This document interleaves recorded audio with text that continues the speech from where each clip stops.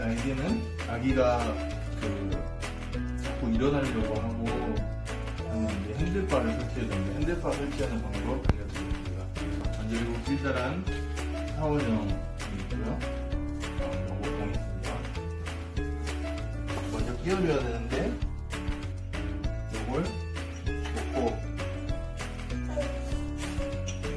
놓고 이렇게 해줍니다. 들어가는 부분이 얇으니까 놓고 돌려서 양계도 마찬가지 이렇게 있죠. 그러면